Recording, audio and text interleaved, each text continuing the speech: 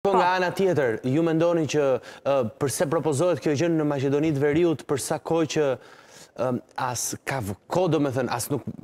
Pra nuk janë informacionet aty për aty që të thuash ka qenë një dënim me vdekje, si në rasin e Shqipërisë, pra, që ne kemi në historikun tonë, të fundit në 96-ën, shumë e komentuar, sa herë diskutohet për dënimin me vdekje, rikthehet edhe vendimi i Fierit.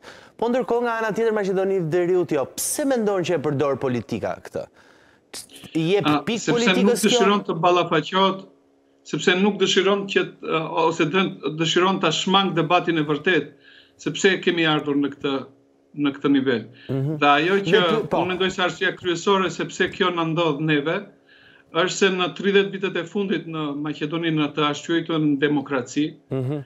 Kemi një politikë të, të si themi të gjithanshme të pandëshkueshmërisë. Mm -hmm. Do të thotë ne që nga viti 90-91 kur kemi një kushtetutë të re, do të thotë pushteti legjislativ vazhdimisht ka ndërhyrë në politikën e gjyqësorit.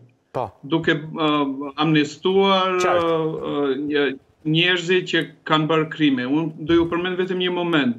Para disa muajsh në kodin penal të Maqedonisë u bënë disa ndryshime. Po. U ulën dënimet për krime shumë të rënda, po. me qëllim që njerëzit që ishin të përfshirë në në krime po. gjatë periudhës së Gruevskit të të lirohen nga përgjegjësia si me arsye që deputetët e opozitës votojnë ndryshimet kushtetuese për futjen e bullgarëve në kushtetutë dhe me këtë të plotësojmë kushtin për nisjen e negociatave. Nuk u ndryshua as kushtetuta, nuk nisëm as negociatat, por kriminelë shumë të rrezikshëm që gjatë periudhës së kaluar kanë dëmtuar buxhetin e shtetit dhe kanë shkelur të drejtat e njerëzve këtu në Maqedoni janë tashmë janë jashtë, nuk do të mbahen përgjegjës për krimet që kanë bërë. Ju kujtohet skandali i përgjimeve në Maqedoni po. në vitin 2016 po.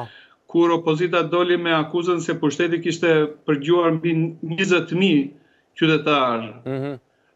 në mënyrë të paligjshme, kuptohet pa pa një vendim gjykate. Qartë. Dhe këta njerëz sot janë të lirë, nuk do nuk do ndëshkohen. Do të thotë, pra kjo është arsyeja kryesore sepse nëse ju në shoqëri krijoni po. përshtypjen se njerëzit kështu krimet e rënda ndëshkohen atëherë dhe njerëzit mendojnë se mund të përdorin, mund të shkelin ligjin, mund të abuzojnë dhe shpresojnë se do t'i shmangin mhm. dënimin. Të pyes